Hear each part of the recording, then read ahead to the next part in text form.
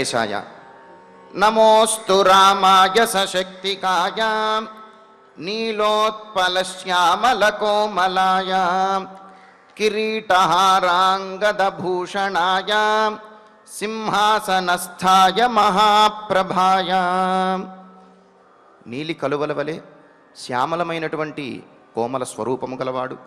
కిరీటము హారములు ఇత్యాది ఆభరణములను ధరించి సింహాసనారూఢుడై భక్తులను అనుగ్రహిస్తున్నటువంటి శ్రీరామచంద్రునికి నమస్కరిస్తూ తదభిన్న స్వరూపుడైనటువంటి ఆ శ్రీనివాసుని యొక్క దయా విశేషం చేత సమస్త మానవాళికి ధర్మ తత్పరతను సకల కార్యసిద్ధిని చేకూర్చాలన్నటువంటి సంకల్పంతో తిరుమల తిరుపతి దేవస్థానం వారు నిర్వహిస్తున్నటువంటి శ్రీమద్ రామాయణం అయోధ్యాకాండ ప్రవచన పారాయణ కార్యక్రమంలో నేటికి మనం మూడు వందల ముప్పై మూడవ రోజులకు ప్రవేశించాం. ఈ కార్యక్రమంలో ముందుగా అన్నమాచారుల వారి సంకీర్తన అయినటువంటి శరణు శరణు విభీషణ వరద అనేటటువంటి సంకీర్తనను శ్రీమాన్ ఆర్ శ్యామ్ కుమార్ గారు అన్నమాచార ప్రాజెక్టు కళాకారులు వారి బృందం యొక్క సహకారంతో ఆలపిస్తారు. శ్రవణం చేద్దాం. ఓం నమో వెంకటేశాయ.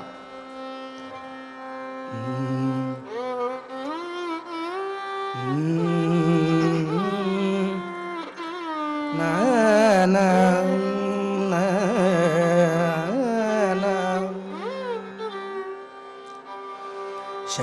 శరణు శరణు విభీషణ వరద శరణు శరణు విభీషణ వరద శరది బంధన రామ సర్వగుణ స్తోమ శరణు శరణు విభీషణ వరద శరది బంధన రామ సర్వగుణ స్తోమ శరణు శరణు విభీషణ వరద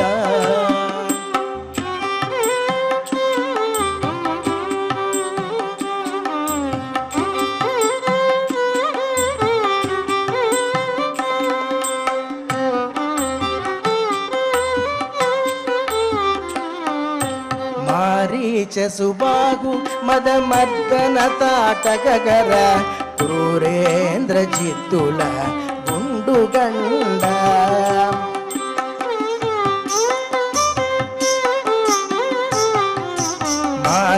మారీచ సుబాహు మదమర్దన తాటకగర క్రూరేంద్ర జిత్తుల గుండుగండ. దారుణ కుంభకర్ణ ధనుజ శిర ఛేదన. దారుణ కుంభకర్ణ ధనుజ శిర ఛేదక. వీర ప్రతాప రామ విజయాభిరామ. దారుణ కుంభకర్ణ ధనుజ శిర ఛేదక వీర ప్రతాప రామ విజయాభిరామ. రను శరణు విభీషణ వరద. శరది బంధన రామ సర్వగుణ స్తోమ. శరణు శరణు విభీషణ వరదా.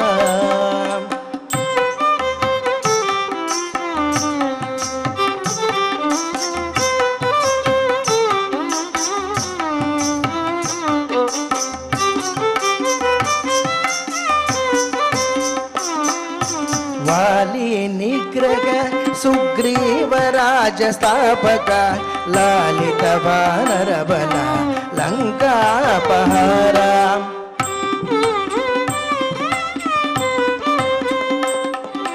ವಾಲಿ ನಿಗ್ರಹ ಸುಗ್ರೀವ ರಾಜಸ್ಥಾಪಕ ಲಾಲಿತ ವಾನರ ಬಲ ಲಂಕಾಪಹಾರ ಪಾಲಿತ ಸವನಾಹಲ್ಯ ಪಾಪ ವಿಮೋಚಕ ಪಾಲಿತ ಸವನಾಗಲ್ಯ ಪಾಪ ವಿಮೋಚಕ ಪೌಲಸ್ಯ ಹರಣ ರಾಮ ಬಹುದಿವ್ಯ ನಾಮ ಪಾಲಿತ ಸವನಾಗಲ್ಯ ಪಾಪ ವಿಮೋಚಕ ಪೌಲಸ್ಯ ಹರಣ ರಾಮ ಬಹುದಿವ್ಯ ನಾಮ ಶರಣು ಶರಣು ವಿಭೀಷಣ ವರದ शरधिवन्धनराम सर्वगुणन सोमा शरणु शरणु विभीषणवरदा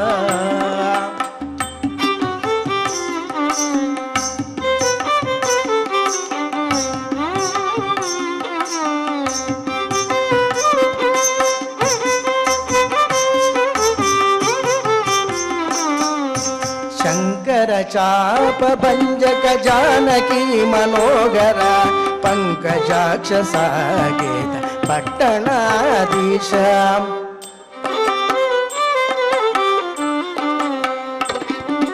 శంకర చాప పంజక జానకి మనోగర పంకజాక్ష సాగేత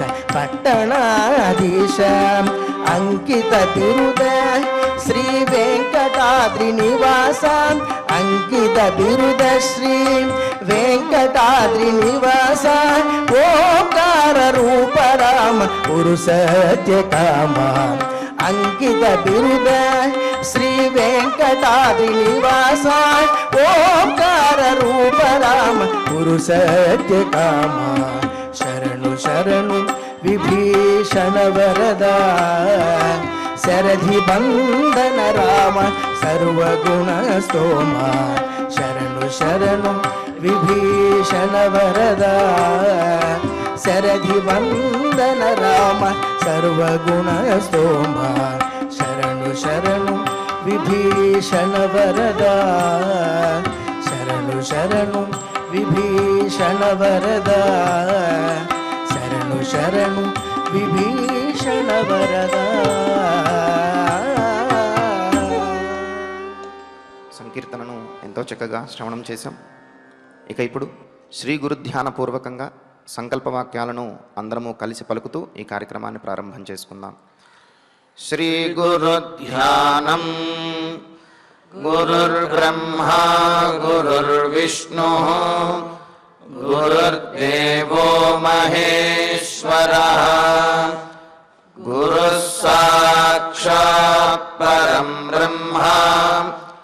तस्मै श्रीगुरवे नमः।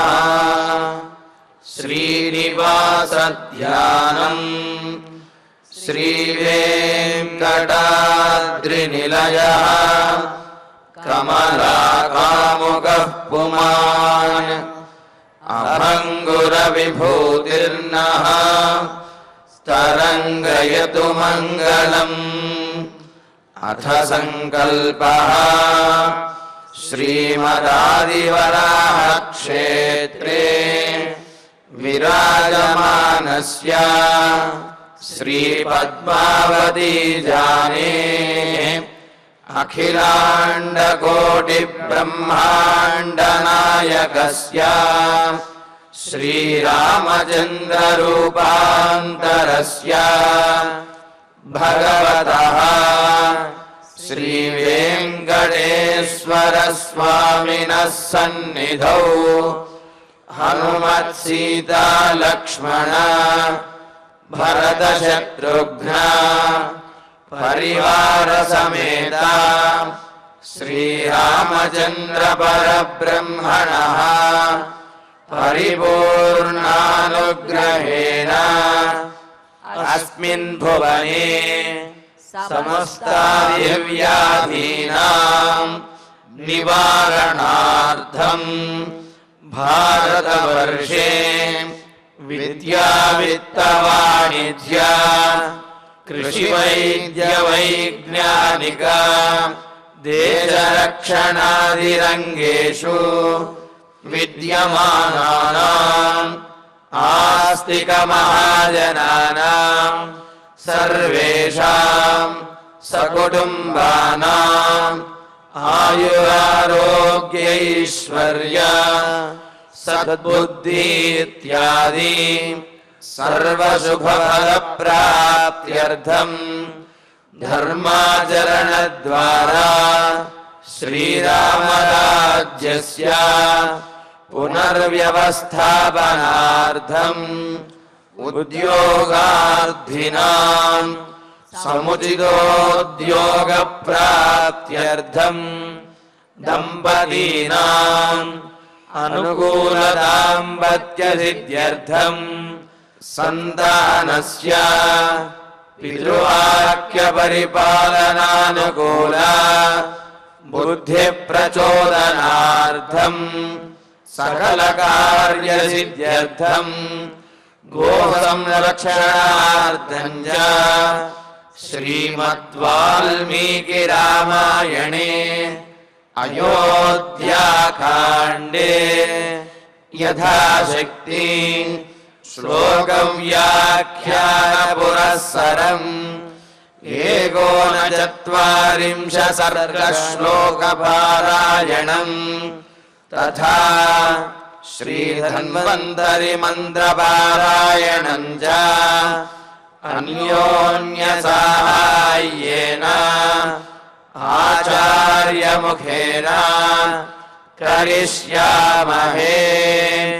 श्रीवाल्मीकिप्रार्थना पूजन्तम् राम रामेति मधुरम् मधुराक्षरम् आरुह्य कविताशाखाम् वंदे वाल्मीकिकोकिलम् श्री आञ्जनेयप्रार्थना मनोजवम् मारुततुल्यवेगम् जितेन्द्रियम् बुद्धिमताम् वरिष्ठम् वादात्मजम् वानरयूथमुख्यम् श्रीरामदूतम् शिरसा नमामि। श्रीरामायणप्रार्थना वाल्मीकिगिरिसम्भूता रामसागरगामिनी। पुनादिभुवनम् पुण्या। रामायणमहानदी श्रीरामप्रार्थना अयोध्याख्यातु गुर्वर्धे त्यक्त्वा गिरौ वसन् पादुके भरतायादात्। स रामः मम। श्रीरामचन्द्रपरब्रह्मणे नमः। अथ श्रीमद् रामायणे आदिकाव्ये अयोध्याकाण्डे। एकोनचत्वारिंशः सर्गः। श्रीमन्नारायणचरणौ शरणं प्रपद्ये। श्रीमते नारायणा नम। श्रीरामाय नम। ताश्चापि स तथैवार्ता मातॄर्दशरथात्मजः నిజగాధ నిజగాద కృతాంజలి రామచంద్రమూర్తి కౌసల్యాదేవికి సమాధానం చెప్పి అమ్మా నిదురని నిద్రపోయి లేచినంత త్వరగా నా వనవాసం గడిచిపోతుంది.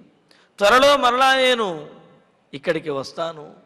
నా స్నేహితులతోటి అదేవిధంగా నా ప్రయోజనం ఏదైతే ఉందో అవతార ప్రయోజనం అదంతా కూడా పూర్తి చేసుకుని తండ్రి ప్రతిజ్ఞ నెరవేర్చినటువంటి వాడిగా నేను ఈ అయోధ్య నగరానికి వస్తాను.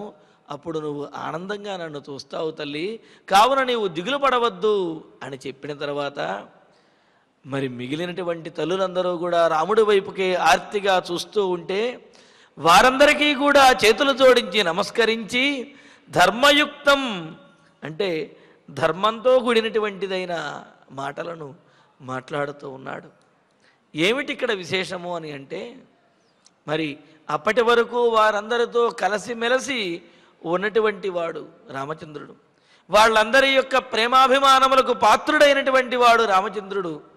మరి తనను ఇష్టపడేటటువంటి వారు తన మీద ప్రేమాభిమానములు చూపించేవారు తన మీద వాత్సల్యాన్ని చూపిస్తున్నటువంటి వారికి సమాధానం చెప్పి వారిని ఓదార్చి వెళ్ళవలసినటువంటి ధర్మము రామచంద్రుడికి ఉన్నది.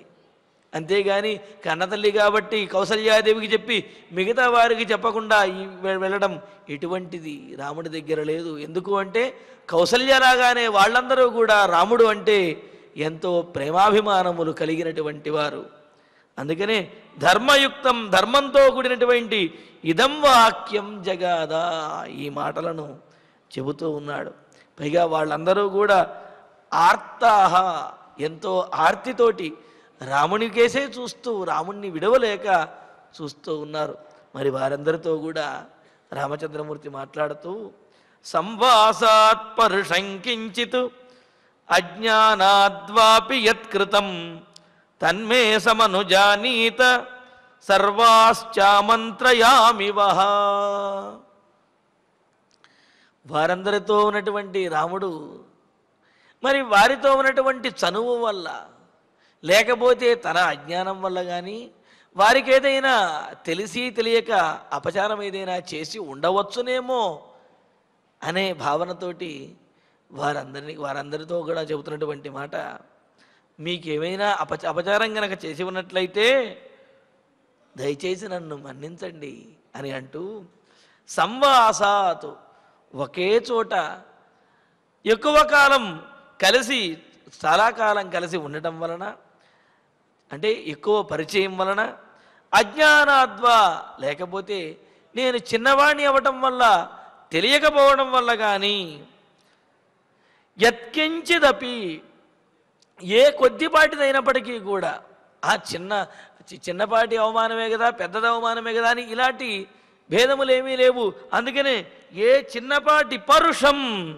కఠినమైనటువంటి లేకపోతే బాధను కలిగించేటటువంటి పని కృతమయ్యా నా చేత కనుక చేయబడి ఉన్నట్లయితే మీ అందరి మీ అందరితో ఉన్నటువంటి ఎక్కువ కాలం గడపటం వలన అదేవిధంగా నా అజ్ఞానం వల్ల కానీ చిన్నతనం వల్ల కానీ నాకు తెలిసి తెలియక నేను ఏదైనా పొరపాటు కనుక మీ మీ వద్ద చేసినట్లయితే మే తతు సమనుజానీత.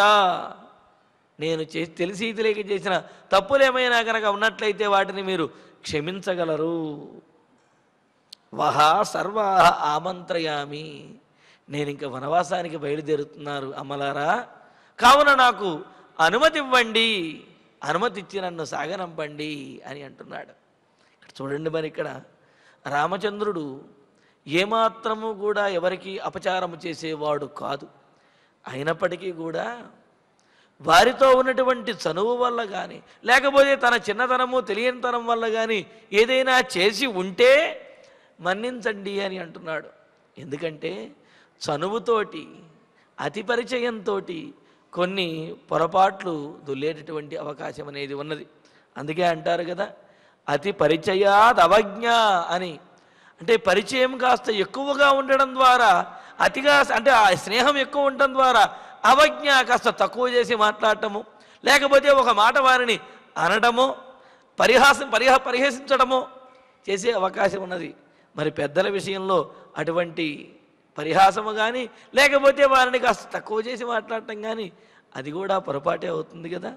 మనకి చనువు ఇవ్వటం అనేది పెద్దల యొక్క గొప్పతనం అయితే ఆ చనువుని ఎంతవరకు తీసుకోవాలో అంతవరకే తీసుకోవటం అనేది వివేకవంతుల యొక్క లక్షణం. చనువిస్తే చంకనెక్కాలి అంటే ఏమిటి? వాళ్ళకి ఇబ్బంది లేకుండా ఉండే వరకే మనం ప్రవర్తించాలి తప్ప చనువిచ్చారు కదా అని నెత్తినెక్కినట్లయితే అది వారికి ఇబ్బంది వారి యొక్క ఆగ్రహానికి పాత్రుడము కావలసి వస్తుంది. అందుకే ఇక్కడ రామచంద్రుడు ఏమంటున్నాడు? సంవాసాతు మీతో ఎక్కువ కాలం కలిసి ఉండటం వల్ల చిరకాలం ఉండటం వల్ల ఆ చనువుతోటి నేను ఏదైనా కాస్త ఎక్కువగా ప్రవర్తించి ఉన్నట్లయితే లేకపోతే మిమ్మల్ని బాధపెట్టే విధంగా ఏ కొద్దిపాటి ప్రవర్తన అయినా సరే నేను చేసి ఉన్నట్లయితే కనుక దాన్ని అజ్ఞానాతు తెలియక ఏదైనా నేను పొరపాట్లు చేసి ఉన్నట్లయితే పరోక్షంగా నాకు తెలియకుండా నా వలనే ఎవరికైనా కనుక ఇబ్బంది కలిగినట్లయితే బాధ కలిగినట్లయితే నన్ను మన్నించగలరు. మన్నించి వా సర్వాహ ఆమంత్రయామి. మిమ్మల్ని అందరినీ కూడా నేను అనుజ్ఞ కోరుతున్నాను. నేను వనవాసానికి బయలుదేరటానికి అనుమతి ఇవ్వండి తల్లులారా అని చెప్పి అంటున్నారు.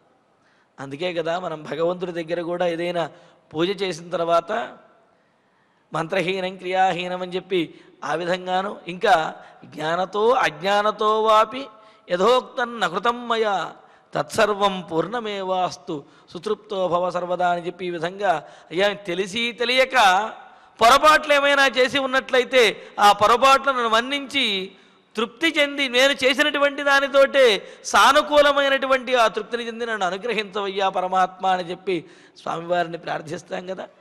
అంటే మనం పొరపాట్లు ఖచ్చితంగా చేస్తాము అని కాదు తెలిసి తెలియక చేసినటువంటి పొరపాట్లు ఎక్కడైనా ఉండవచ్చు. కావున వాటి వల్ల కూడా దోషం లేకుండా ఇలా క్షమాప్రార్థన చేస్తాం కదా. అలాగే రామచంద్రమూర్తి కూడా ఆ మూడు వందల యాభై మంది తల్లులతోటి కూడా చెబుతూ ఉన్నాడు. చెబుతూ మీ అందరి యొక్క అనుమతి నాకు కావాలి నన్ను ఆశీర్వదించి పంపించండి అని అడుగుతూ ఇలా అడుగుతుంటే రామచంద్రమూర్తి ఇలా మాట్లాడుతుంటే అసలే రాముడు దూరం అవుతున్నాడని ఆర్తితోటి బాధపడుతూ ఉంటే ఆ రాముడు నేనేదైనా తప్పు చేసి ఉంటే మన్నించండి అని అంటే అది వాళ్ళు భరించలేకపోతున్నారు.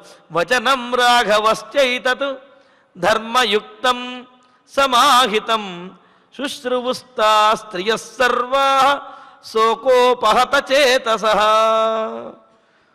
దశరథుని యొక్క భార్యలైన తాహ స్త్రియ ఆ స్త్రీలందరూ తల్లులందరూ కూడా సర్వాహ అందరూ రాఘవస్య శ్రీరాముని యొక్క రఘువంశీయుని యొక్క ఆ శ్రీరామచంద్రుని యొక్క ధర్మయుక్తం సమాహితం ఏతద్వచనం ధర్మంతో కూడినటువంటిది. అంటే ఎవరి దగ్గర ఏ విధంగా వ్యవహరించాలో ఎవరి దగ్గర ఏ విధంగా మాట్లాడాలటువంటి ధర్మాన్ని పాటించి మాట్లాడుతున్నది సమాహితం ఔచిత్యంతో కూడినటువంటిది. ఎందుకంటే ఔచిత్యంతో అనే మాట ఎందుకు చెబుతున్నారు అంటే మనం ఏదైనా పొరపాటు కనుక చేసి ఉన్నట్లయితే ఆ పొరపాటు వల్ల అవతల వారు కనుక బాధపడినట్లయితే క్షమాపణ చెప్పటం అనేది ధర్మము. మరి అక్కడ ఉన్నంతకాలం చెప్పకపోయినా మనం ఆ ప్రదేశాన్ని విడిచి వెళ్ళిపోయేటటువంటి సమయంలో చెప్పినా సరే కొంత ఆ దోషం అనేది తీరుతుంది. ఒకవేళ అలా చెప్పలేకపోతే జీవితాంతము కూడా చెప్పేటటువంటి అవకాశం ఉండదు. ఆ దోషం అనేది అలాగే మనల్ని పట్టి పీడిస్తుంది. అందుకనే అలా దూరంగా వెళ్ళిపోతున్నటువంటి వారు ఈ విధంగా ఏదైనా పొరపాటు జరిగి ఉంటే మన్నించండి అని చెప్పడం అనేది అది ధర్మము అని చెప్పి అన్నారు. అందుకనే ఇక్కడ చూడండి ధర్మయుక్తం ధర్మంతో కూడినటువంటిది సమాహితం ఆ సమయానికి తగినటువంటిది అని అన్నారు. ఎందుకు అంటే రాముడు అప్పుడు గనక ఆ క్షమాపణ చెప్పకపోతే అప్పుడు కనుక ఆ విధంగా తల్లులను అడగకపోతే పద్నాలుగు సంవత్సరముల వరకు అలా అడిగే అవకాశం అలా మాట్లాడే అవకాశం రాముడికి ఉండదు. అందుకని ఔచిత్యంతో కూడినటువంటిదైన సందర్భోచితమైనటువంటి ఏతద్వచనం ఈ మాటను రాముడు చెప్పినటువంటి మాటను విన్నటువంటి వారై శోకోపహత చేతస శుశ్రువు శోకంతో కూడినటువంటి చేతస్సు కలిగిన వారే వారి మనస్సు అంతా కూడా శోకంతో నిండిపోయింది. అలా శోకంతో నిండినటువంటి వారై శుశ్రువు రాముని యొక్క మాటలను విన్నారు విని జజ్ఞేధతాసాం సన్నాద క్రౌంచీనామివ నిస్వన మానవేంద్రస్య భార్యాణం ఏవం వదతి రాఘవే. రాఘవే రామచంద్రమూర్తి ఏవం వదతి సతి ఈ విధంగా మాట్లాడుతూ ఉంటే అధ మానవేంద్రస్య సాతా తాసాం సన్నాద. ఇక అప్పుడు మానవేంద్రుడైనటువంటి అంటే జనశ్రేష్ఠుడైన ఆ జనక మహారాజు యొక్క కుమారుడైన రామచంద్రుని యొక్క మానవేంద్రస్య సా తాసాం సన్నాద రామచంద్రుని యొక్క మాటతోటి జనక ఆ దశరథ మహారాజు యొక్క స్త్రీలు ఎవరైతే ఉన్నారో ఆ వాళ్ళందరూ కూడా సన్నాద ఏడ్చినటువంటి వారి యొక్క ధ్వని రాముని మాటలు ఎప్పుడైతే విన్నారో వారి శోకము ఆగలేదు. అది పెళ్ళువికి బయటికి వచ్చి వారు బిగ్గరగా పెద్దగా ఏడుస్తూ ఉన్నారన్నమాట. రోదన ధ్వని చేస్తూ ఉన్నారు. ఆ ధ్వని ఎలాగున్నది అంటే క్రౌంచీనాం ఆడ క్రౌంచ పక్షులన్నీ కూడా సామూహికంగా ఒకేసారి కనుక ధ్వని చేసినట్లయితే ఎంతటి ధ్వని వస్తుందో ఎంత కోలాహలంగా ఉంటుందో ఎంత ఆర్తనాదములు చేసినట్లుగా ఉంటుందో ఆ విధంగా క్రౌంచీనాం నిస్వన ఇవ ఆడ క్రౌంచ పక్షులన్నీ కూడా సామూహికంగా చేసినటువంటి ధ్వనిలాగా జజ్ఞే ఆ భవనమంతా కూడా వ్యాపించింది ఆ భవనమంతా కూడా ప్రతిధ్వనించింది అని. రాముడు రాముడికి పట్టాభిషేకం అన్నప్పుడేమో జై జయధ్వానములు ఆ విమానం కంపయన్నివా అన్నట్లుగా భవనమంతా వ్యాపించాయి. మరి రాముడు వనవాసానికి బయలుదేరుతుంటే వీరి యొక్క శోకంతో కూడినటువంటి ఆర్తనాదములు ఏవైతే ఉన్నాయో ఆ ఏడుపులు అవి అంతఃపురం యొక్క ఆ సభామండపం యొక్క మొత్తం అంతా వ్యాపిస్తూ ఉన్నాయి. సభామండపం అంతా కూడా భవనం అంతా వ్యాపించి ప్రతిధ్వనిస్తూ ఉన్నాయన్నమాట. వాళ్ళందరూ అంతగా బాధపడుతున్నారు. మరి ఆ సభామండపం అంతఃపుర భవనం ఎలా ఉందో చెబుతూ మురజపణవ మేఘ ఘోషవత్ దశరథవేష్మ బభూవ యత్పురా విలపిత పరిదేవనాకులం వ్యసనగతం తదభూత్ సుదుఃఖితం. మురజపణవమేఘఘోషవతు దశరథవేష్మ బభూవ యత్పురా విలపిత పరిదేవనాకులం వ్యసనగతం తదభూత్ సుదుఃఖితం ఆ దశరథుని యొక్క ఆ భవంతి పూర్వం ఎలా ఉండేదనే విషయం చెబుతూ యద్వేష్మ ఏ దశరథుని యొక్క భవంతి అయితే పురా పూర్వము అంటే ఈ రాముడు వనవాసానికి బయలుదేరడం కంటే ముందు మురజ పణవ మేఘఘోషవతు మృదము అంటే మృదంగా మురజ భేదా అని చెప్పినట్లుగా మృదంగము యొక్క భేదం అంటే ఆ మధ్యలో మొదలైనటువంటి సంగీత వాయిద్యములు. పణవము అంటే గనక ఈ డోలు మొదలైనటువంటివి అనమాట సంగీత వాయిద్యములు ఇవన్నీ సన్నాయి ఇవి చెబుతారు కదా అవన్నీ కూడా. అలాగే ఘోషవతు మేఘఘోషవతు మేఘధ్వనుల వంటి అంటే మేఘగర్జనల వంటి మృదంగముల యొక్క ధ్వని ఆ మధ్యల యొక్క ధ్వని డోలు మొదలైనటువంటి వాటి ధ్వని సన్నాయి మొదలైనటువంటి మంగళ ధ్వనులు ఏవైతే ఉన్నాయో అలా ఉండేవిట. అటువంటి ధ్వనులతోటి మంగళకరమైనటువంటి ధ్వనులతోటి ప్రతిధ్వనిస్తూ నిండి ఉండేటటువంటి దశరథ మహారాజు యొక్క భవంతి బభోవ ఉండేదో తతు ఆ భవనమే ఇప్పుడు విలపిత పరిదేవనాకులం విలప విల విలపిస్తూ ఏడుస్తున్నటువంటి వారి యొక్క ధ్వనులతోటి ఆ ఏడుపు రోదన ధ్వనులతోటి సుదుఃఖితం అభూత్ వ్యసనగతం ఎంతో బాధపెట్టిన బాధపెట్టినట్లుగాను అంటే ఆపద పొందినట్లుగాను ఆపదలో చిక్కుకున్నటువంటి వారు ఏ విధంగా అయితే విలపిస్తూ రోజిస్తూ ధ్వని చేస్తారో అదేవిధంగా ఆ భవంతులో ఉన్నటువంటి వారందరూ కూడా ఆపదల పాలైనట్లుగా వాళ్ళందరూ చేస్తున్నటువంటి ధ్వని అలాగా ఆ స- సభామండపం అదేవిధంగా ఆ భవంతి అంతా కూడా వ్యాపిస్తూ సుదుఃఖితం అభూత్. ఆ భవంతి అంతా కూడా దుఃఖమయం అయిపోయింది ఇంతకుముందు మంగళకరమైనటువంటి ధ్వనులతోటి ఆనందముతో నిండి ఉండేటటువంటి దశరథుని యొక్క భవంతి ఈనాడు ఈ అంతఃపురంలో ఉన్నటువంటి దశరథుని యొక్క భార్యల ఆ ఆర్తనాదములతోటి రోదన ధ్వనులతోటి దుఃఖమయంగా శోకమయంగా నిండిపోయి అది అమంగళకరంగా గోచరిస్తూ ఉన్నది అని చెప్పి అన్నారు. అందుకే అంటారు దీనందరికీ కారణం ఎవరు అంటే కైకేయీదేవి ఇల్లు ఆనందంగా ఉండాలి అన్నా ఇల్లు దుఃఖంతో నిండిపోయి ఉండాలి అన్నా సరే ఆ ఇల్లాలి యొక్క ప్రభావం అనేది తప్పనిసరిగా ఉండి తీరుతుంది అనేది మనకు పెద్దలు తెలియజేస్తున్నారు. మరి అంతకుముందు ఆ భవంతి అంతా కూడా ఆనందంగా ఉండడానికి కారణం కైకేయీ దేవి. ఎందుకంటే కైకేయిని చూస్తేనే దశరథ మహారాజుకి ఆనందం కలిగేది ఎంతో ధైర్యంగా ఉండేవాడు. మరి ఇప్పుడు దశరథుడు అదేవిధంగా మిగతా వారందరూ కూడా రోధించడానికి కూడా కారణం కైకేయీ దేవి అని. కావున ఆ కైకేయీ ప్రభావంతో పూర్వము ఎంతో ఆనందంగా ఉండేటటువంటి దశరథుని యొక్క భవంతి ఈనాడు రోదన ధ్వనులతోటి దుఃఖమయంగా మారిపోయింది అని చెప్పి అన్నారు. మరి వాళ్ళందరూ కూడా ఆ విధంగా శోకిస్తూ ఉంటే వారందరినీ కూడా ఊరడించి రామచంద్రమూర్తి బయలుదేరుతూ ఉన్నాడు. మురజపణవ మేఘ ఘోషవత్ దశరథవేష్మ బభూవ విలపిత పరిదేవనాకులం వ్యసనగతం తదభూత్ సుదుఃఖితం దీనితోటి ముప్పై తొమ్మిదో సర్గ పూర్తయినది. అధ చరింశ సర్గ. అధ రామశ్చ సీతా చ లక్ష్మణశ్చ కృతాంజలి. ఉపసంగృహ్య రాజానం చక్రుర్దీనా ప్రదక్షిణం.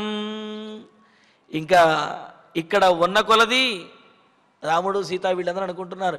ఇక్కడ మనం ఎంత ఎంతసేపు ఎక్కువ ఉంటామో అంతసేపు అంతకాలము కూడా వీళ్ళందరూ కూడా మనల్ని చూచి బాధపడుతూనే ఉంటారు. కావున మనం వెంటనే బయలుదేరాలి అనుకున్న వాళ్ళై అధ ఆ తరువాత రామశ్చ సీతాచ లక్ష్మణశ్చ రాముడు సీత లక్ష్మణుడు ఈ ముగ్గురు కూడా కృతాంజలి నమస్కారం చేసినటువంటి వారై దీనాహ దీనమైనటువంటి ముఖములతోటి అదేమిటండి దీనము అంటే వనవాసానికి బయలుదేరవలసి వచ్చింది కాబట్టి రాముడు సీత వీళ్ళందరూ కూడా బాధపడుతున్నారా అంటే కాదు కాదు తల్లిదండ్రులకు సేవ చేసేటటువంటి భాగ్యం అనేది పద్నాలుగు సంవత్సరముల పాటు మాకు ఉండదు అనే బాధతో వాళ్ళు ఆ విధంగా దీనమైనటువంటి వదనములతో బయలుదేరారట అందుకని దీన దీనాహ వృద్ధులకు సేవ చేసే అవకాశం లేదే ఉండబోవటం లేదే అనే బాధతోటి ఆ బాధపడుతున్నటువంటి మనస్సుతో కూడిన వారు రాజానం ఉపసంగృహ్య దశరథ మహారాజుకి పాదములు తాకి నమస్కరించి పాదములు బట్టి నమస్కరించి ప్రదక్షిణం చక్రుహు. ప్రదక్షిణం చేశారట. అంటే ఇంకా బయలుదేరటానికి సిద్ధమైపోయారు.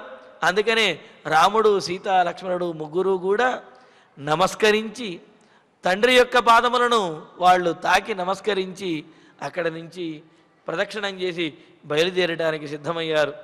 తంచాపి సమనుజ్ఞాప్య ధర్మజ్ఞ సీతయా సహ రాఘవశోక సమ్మూఢ జననీమభ్యవాదయతు.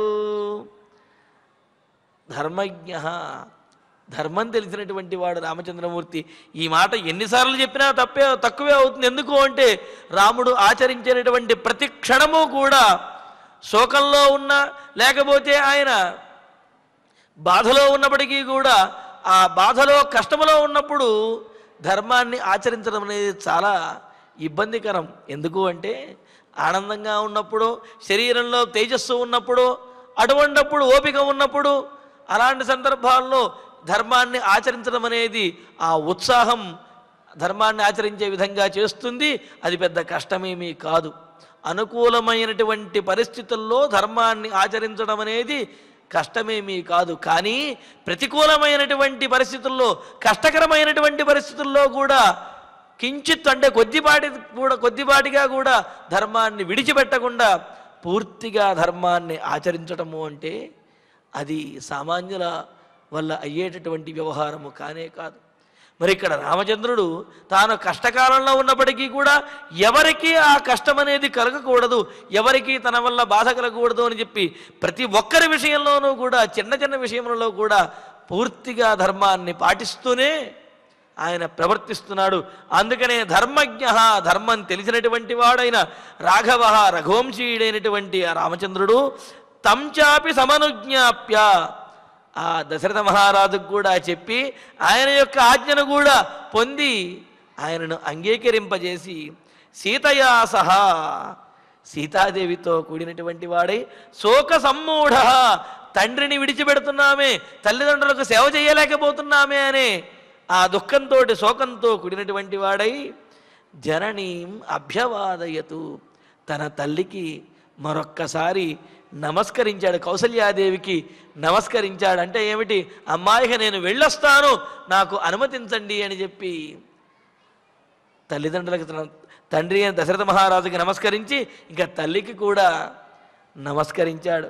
నమస్కరించేటప్పటికీ మరి అన్నగారిని అనుసరించి బయలుదేరుతున్నటువంటి లక్ష్మణస్వామి కూడా తన తల్లికి నమస్కారం చేస్తూ అన్వక్షం లక్ష్మణో భ్రాతు కౌసల్యామభ్యవాదయతు. అధమాతు సుమిత్రాయా. జగ్రాహచరణౌ పునః.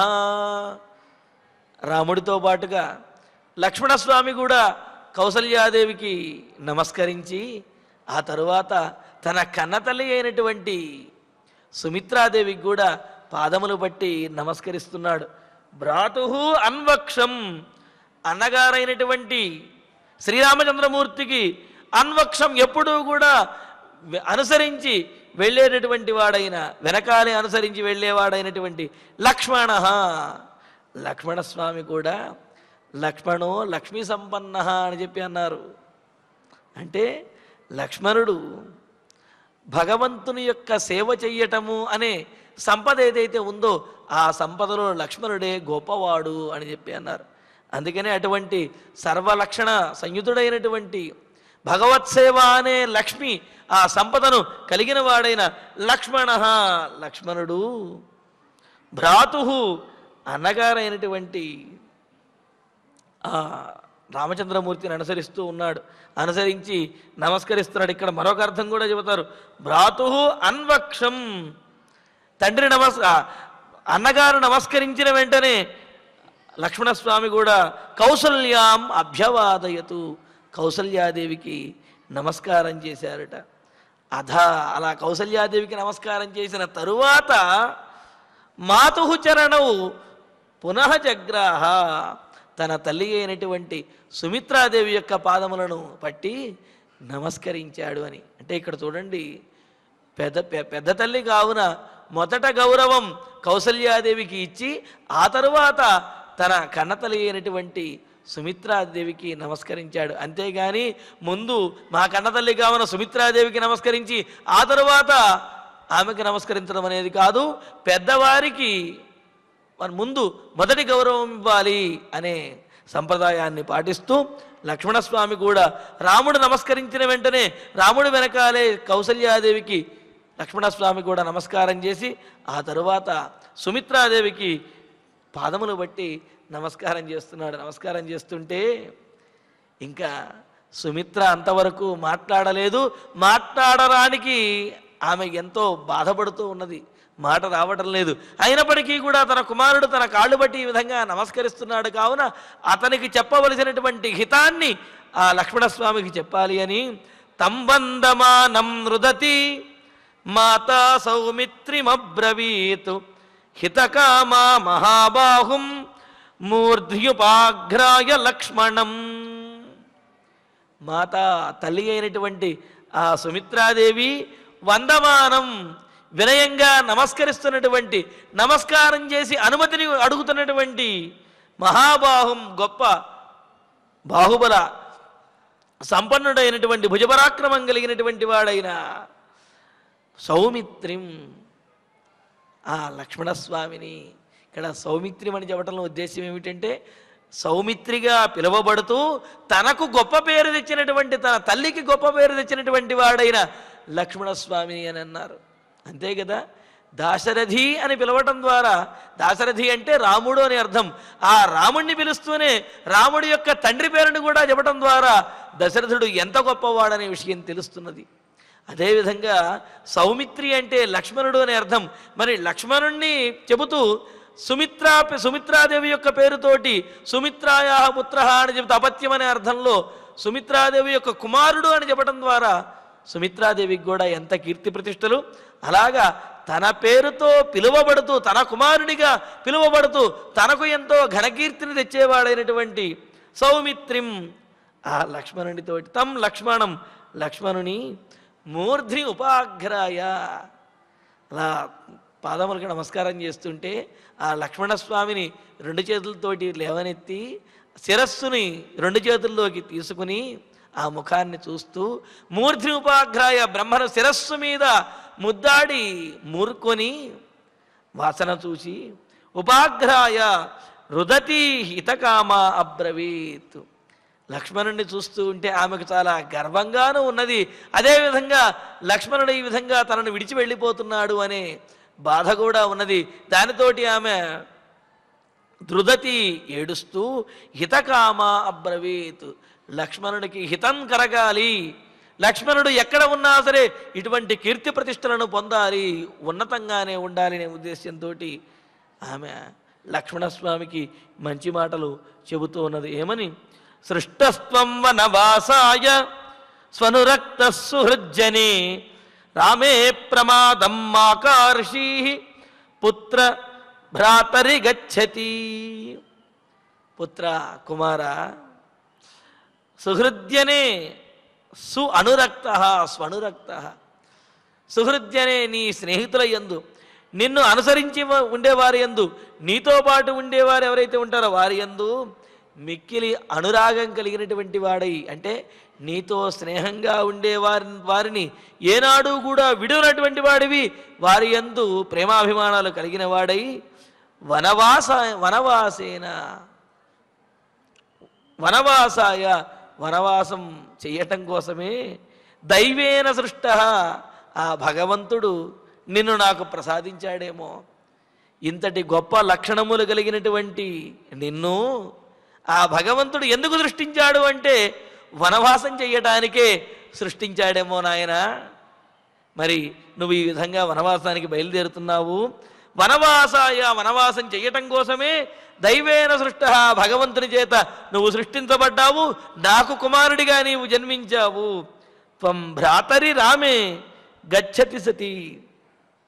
నీవు ఇదిగో ఈ రామచంద్రమూర్తి సీతాదేవితో కలిసి వనవాసానికి వెళుతూ ఉంటే ఆ రామచంద్రమూర్తితోటే ఉండి ప్రమాదం మాకారుషీహి.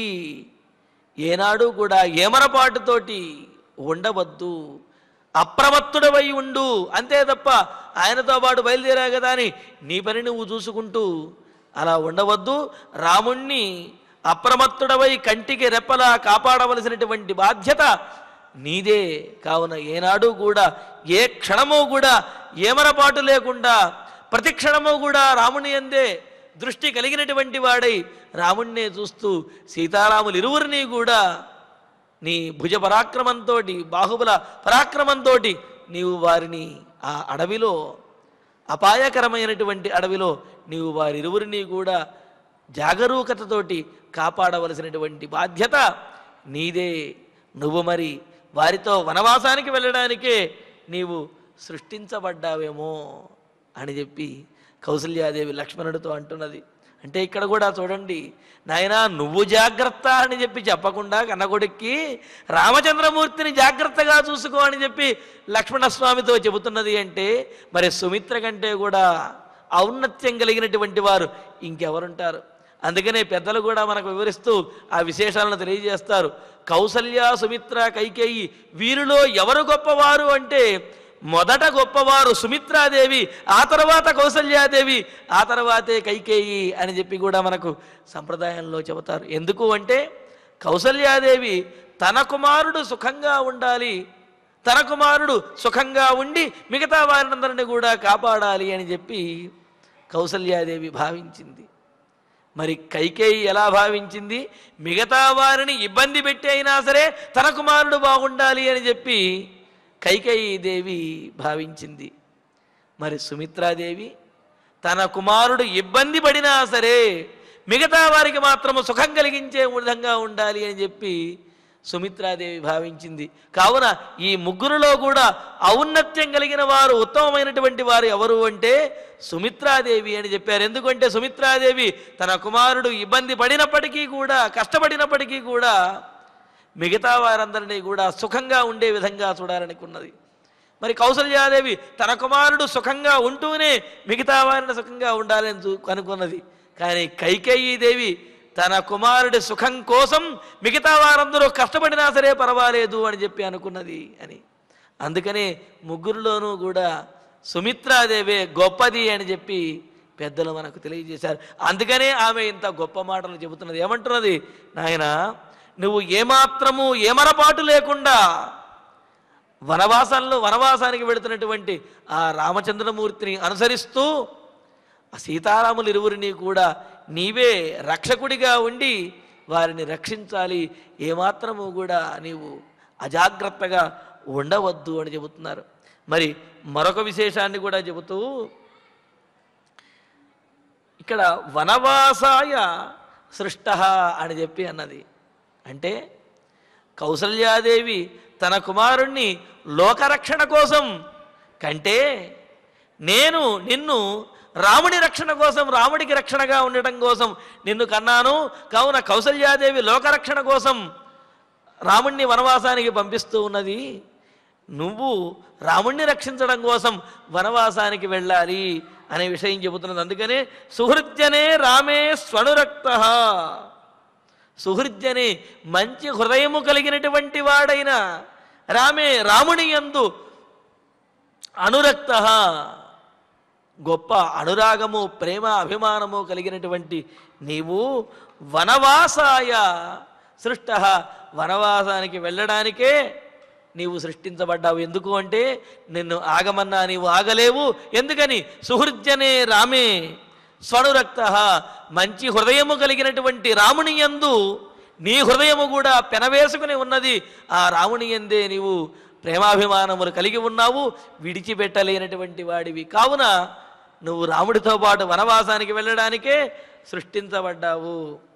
సరే అలా వెళ్ళటమే కాదు భ్రాతరి రామే గచ్చతి ప్రమాదం ఆకార్షి రామచంద్రమూర్తి అలా నడుచుకుంటూ ముందుకు వెళుతుంటే నీవు దిక్కులు చూస్తూ ఉండటం కానీ ఏమరపాటుగా ఉండటం కానీ చెయ్యవద్దు.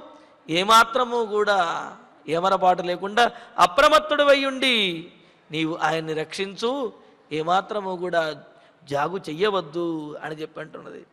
మరి ఎందుకు అలా రా లక్ష్మణస్వామి? జాగు చేశారంటే అజాగ్రత్తగా ఎందుకు ఉంటాడండి? అసలు బయలుదేరిందే రాముడితో బయలుదేరుతున్నప్పుడు రాముడి విషయంలో అజాగ్రత్తగా ఎందుకు ఉంటాడు అని అంటే దానికి కూడా మనకు పెద్దలు ఒక చక్కటి కారణాన్ని తెలియజేస్తున్నారు. ఏమిటి అంటే రాముడు ముందు నడిచి వెళుతూ ఉంటే రాముణ్ణి అనుసరించి లక్ష్మణస్వామి కూడా రాముణ్ణి చూచి చూస్తూ ముందుకు వెళుతూ ఉంటాడు. అయితే గజసింహ గతి అని చెప్పినట్లుగా రాముడి యొక్క గమనము అక్కడ కొన్ని సందర్భాల్లో సింహములాగా ఉంటుంది. కొన్ని సందర్భాల్లో పులిలాగా ఉంటుంది. కొన్ని సందర్భాల్లో వృషభములాగా మరికొన్ని సందర్భాల్లో గజములాగా ఆయన నాలుగు రకాలైనటువంటి నాలుగు విధములైనటువంటి గమనములు కలిగినటువంటి వాడు. అంతేకాదు పుంసాం మోహన రూపాయ అని అన్నారు. పురుషులకు కూడా మోహాన్ని కలగజేసేటటువంటి దివ్యమంగళ విగ్రహుడు రామచంద్రమూర్తి. మరి అటువంటి రామచంద్రమూర్తి నడుస్తూ ఉంటే ఆ నడకలలో ఉన్నటువంటి విశేషాలను చూస్తూ ఎవరైనా సరే ఆ తమ దృష్టిని దాని ఎందే ఆ నడకల ఎందే కేంద్రీకరించి మిగతావన్నీ కూడా మర్చిపోతారు. అలాగే లక్ష్మణస్వామి కూడా రాముణ్ణి చూస్తూ ఆ రాముడి యొక్క విశేషమైనటువంటి ఆ నడకలను చూస్తూ ఆ సౌందర్యాతిశయాన్ని ఆస్వాదిస్తూ తనను తాను మర్చిపోతాడు తాను ఎక్కడ ఉన్నానో కూడా మర్చిపోతాడు. తన కర్తవ్యాన్ని కూడా మర్చిపోయే అవకాశం ఉన్నది. అలాగా రాముణ్ణి చూస్తూ నీవు నిన్ను నీవు మర్చిపోతావేమో నాయన? అలా నీవు మర్చిపోవద్దు. రాముణ్ణి చూస్తూ కూడా నీవు అప్రమత్తుడవై ఉండి ఆయనను కాపాడాలి. అంతే తప్ప నీవు పరవశాన్ని పొంది అలాగా నిన్ను నీవు మరచిపోవద్దు అని చెబుతున్నదన్నమాట. ఎందుకు అంటే సౌందర్యం అంతరాయం అని చెప్పి అన్నారు. ఏదైనా పూజ చేస్తున్నా లేకపోతే చదువుకుంటూ ఉన్నా ఏదైనా ముఖ్యమైనటువంటి పని చేస్తున్నప్పటికీ కూడా సౌందర్యం ఏదైతే ఉందో ఆ సౌందర్యం అనేది ఆ పనికి విఘాతాన్ని అంతరాయాన్ని కలుగజేస్తుంది అని చెప్పి అన్నారు. ఎందుకు అంటే సౌందర్యం అనేది దృష్టిని ఆకర్షించేస్తుంది మనస్సుని గట్టిగా పట్టి లాగేస్తుంది. తద్వారా ఏమవుతుంది? ఈ చేస్తున్నటువంటి పూజా దీ దీక్షా నియమము వీటిని వదిలేసి ఆ తల పక్కకు తిప్పి అటు ఇటు చూస్తూ ఉండటము ఆ సౌందర్యానికి లోనైపోయి దాని మీదే దృష్టి కేంద్రీ కేంద్రీకరించడం జరుగుతుంది. తద్వారా చేస్తున్నటువంటి పనికి విఘాతం అనేది కలుగుతుంది. కావున సౌందర్యం అంతరాయం అని చెప్పి సంప్రదాయ పరులు అంటారు. సౌందర్యము కూడా చేస్తున్నటువంటి కార్యానికి ఒక అంతరాయంగా విఘ్నంగా మారుతుంది అని అన్నారు. మరి లక్ష్మణస్వామి రాముడికి రక్షకుడిగా ఉంటూ ఆ వనవాసంలో పెడుతున్న రాముడి యొక్క సౌందర్యమే లక్ష్మణస్వామి యొక్క మనస్సుని లాగేసి లక్ష్మణుడు పరవశాన్ని పొంది తనను తాను మర్చిపోయి అలా రాముణ్ణి చూస్తూ ఉండిపోతాడు తప్ప ఆ అడవిలో ఉండేటటువంటి అపాయములను ఎదుర్కోకుండా ఆ అపాయములను ఊహించకుండా అలా ఉండిపోతాడేమోనని సుమిత్రాదేవి చెబుతున్నది ఏమని నాయనా నువ్వు అటువంటి పరవశాన్ని ఏమరపాటిని ఎప్పుడూ పొందవద్దు. రాముని యొక్క నడకలను చూస్తూ ఉన్నప్పటికీ కూడా నీవు నీ కర్తవ్యాన్ని మాత్రము మర్చిపోవద్దు. నీవు రాముడికి రక్షకుడివి అని చెప్పి అన్నారు. అంతే కదండి? రక్షకులు ఎలా ఉండాలి? ఎంత జనంలో కోలాహలంతో ఉన్నా అవతల ఎంత ఆకర్షించేటటువంటి విశేషాలు ఎన్ని కనిపిస్తున్నా మనస్సును లాగేటటువంటి విశేషాలు ఎన్ని కనిపిస్తున్నప్పటికీ కూడా వారి యొక్క రక్షణ వ్యవస్థ ఏదైతే ఉందో దానిని మాత్రం మర్చిపోకూడదు. ఒక పెద్ద నాయకులు ఎవరైనా వచ్చారనుకోండి వాళ్ళు ఏదో చలనచిత్రం చూస్తూ ఉన్నారనుకోండి ఈ రక్షకులు కూడా కూర్చుని చలనచిత్రం చూస్తూ బఠానీలు తింటూ కూర్చున్నారనుకోండి వాళ్ళని రక్షించే వాళ్ళు ఎవరు కావున ఆ నాయకుడు ఏ విధంగా ఏ కార్యంలో ఉన్నప్పటికీ కూడా ఏ మనస్సు లాగేసినటువంటి కార్యంలో ఉన్నప్పటికీ ఈ రక్షకులు ఎవరైతే ఉన్నారో ఈ రక్షకులు మాత్రము వారి రక్షణ వ్యవస్థ తప్ప మిగతా విషయాలను వేటికి కూడా లొంగకూడదు మిగతా విషయాలను పట్టించుకోకూడదు. ఎందుకు అంటే మీ ఇతర విషయముల మీద ఎప్పుడైతే మనస్సు లాగుతుందో అప్పుడు ఈ రక్షణ వ్యవస్థ అనేది సన్నగిల్లుతుంది బలహీనపడిపోతుంది. అందుకనే ఇక్కడ సుమిత్రాదేవి చెబుతున్నది నీవు ఏమాత్రము కూడా ఏమరపాటుని చెందవద్దు. లేకపోతే ఆ అడవిలో కనిపించే ప్రకృతి ప్రకృతి సౌందర్యాన్ని చూస్తూ ఆస్వాదిస్తూ అటు ఇటు చూస్తూ ఉంటే రాముడికి రక్షకుడిగా ఉండటం వల్ల ప్రయోజనం ఏమున్నది అందుకని ఏమని చెబుతున్నది రామే ప్రమాదం మాకార్షి ప్రమాదము అంటే కనుక అనవధానత అని అర్థం. అంటే ఏమరపాటుగా ఉండటం. కావున ప్రమాదం మాకార్షి రాముడి విషయంలో ఎప్పుడు ఏమరపాటుని చూపించవద్దు. ఎప్పుడూ కూడా అప్రమత్తుడవై జాగరూకుడవై నీవు ఉండాలి అని చెప్పి అన్నదనమాట అంటూ ఇంకా అనేకమైనటువంటి విశేషాలు ఇక్కడ వనవాసాయ అన్నచోటే పరమాత్మ కోసము అనే అర్థాన్ని కూడా పెద్దలు మనకు తెలియజేశారు. ఆ విశేషాలను తరువాతి ప్రవచనంలో తెలుసుకుందాము. ఇక ఇప్పుడు ఆచార్యుల వారి ద్వారా శ్లోకాలను పారాయణ చేసుకుందాము. తాశ్చాపి తాశ్చాపి సతథైవార్తా దైవార్తా మాతృః మాతృః దశరథాత్మజः దశరథాత్మజः ధర్మయుక్తం ధర్మయుక్తం ఇదం వాక్యం ఇదం వాక్యం నిజగాద నిజగాద కృతాంజలి కృతాంజలిః సంవాసాత్ సంవాసాత్ పురుషం కించిత్ పురుషం కించిత్ అజ్ఞానాద్వా జ్ఞానాద్వా అపి యత్కృతం అపి యత్కృతం తన్మే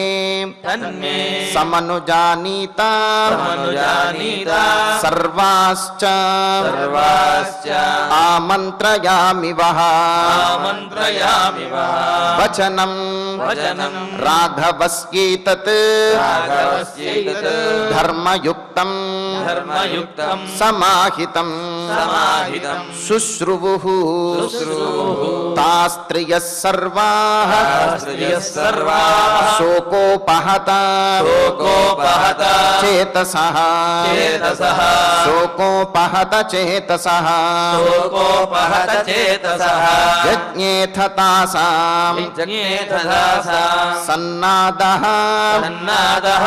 क्रौञ्चीनाम् क्रौञ्चीनाम् इव निस्वनः। मानवेन्द्रस्य। भार्याणाम्। भार्याणाम्। एवम् సన్నాదః సన్నాదః క్రౌంచీనాం క్రౌంచీనాం ఇవ నిస్వనః ఇవ విస్మనః మానవేంద్రస్య మానవేంద్రస్య భార్యాణాం భార్యాణాం ఏవం ఏవం వదతి రాఘవే వదతి రాఘవే మురజపణవా మురజపణవా మేఘఘోషవత్ మేఘఘోషవత్ దశరథ వేష్మ దశరథవేష్మా బభూవ యత్పురా బభూవ యత్పురా విలపిత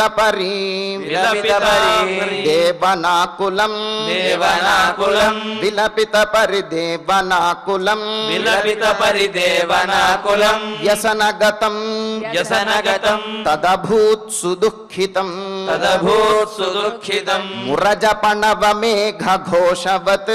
मुरजपणवमेघघोषवत् दशरथवेश्म बभूव यत्पुरा दशरथवेश्म बभूव यत्पुरा विलपितपरिदेवनाकुलम्। विलपितपरिदेवनाकुलम्। व्यसनगतम् तदभूत् सुदुःखितम्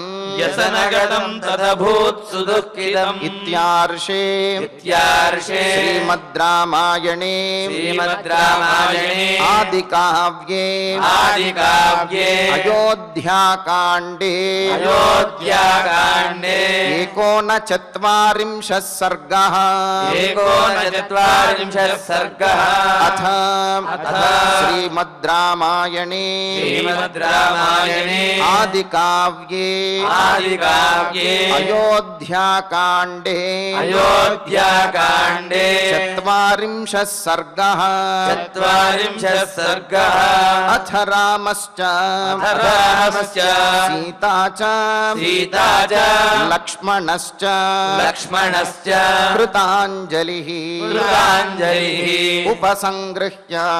రామాయణే ఆది కావ్యే ఆది కావ్యే అయోధ్యాకాండే चतुर्दीनाः प्रदक्षिणम् प्रदक्षिणम् पञ्चापि पञ्चापि समनुज्ञाप्य समनुज्ञाप्य धर्मज्ञः धर्मज्ञः सीतया सह सीतया सह राघवः राघवः शोकसम्मूढः शोकसम्मूढः जननी अभ्यवादयत् अभ्यवादयत् अन्वक्ष చక్రుర్దీనాः ప్రదక్షిణం ప్రదక్షిణం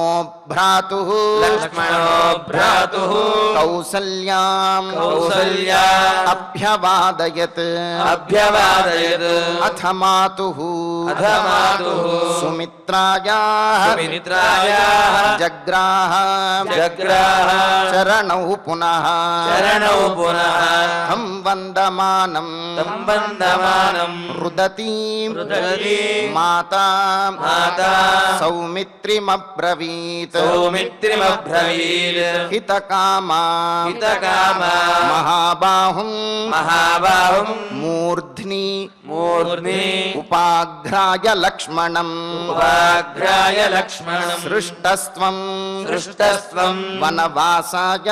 वनवासाय। मनुरक्तः। मनुरक्तः। सुहृज्जने। सुहृज्जने। रामे प्रमादम्। रामे प्रमादम्। माकार्षी।